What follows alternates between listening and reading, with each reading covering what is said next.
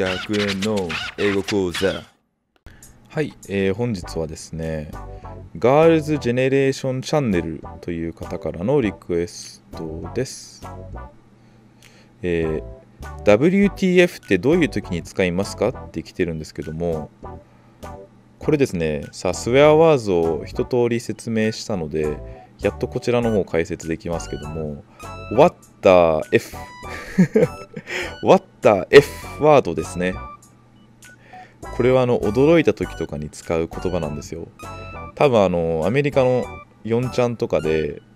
これ使われてると思うんですけどもなんかスレとかでねすごいびっくりするようなコメントを書いたすぐ下に WTF ってよく見ると思うんですよね。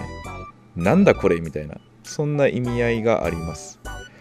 えーっと WTF っていう略文字になってますけど実際に言葉に出しても使ったりしますね。What the F ですね。僕は言わないですけど。なので何か驚いたことがあった時とか、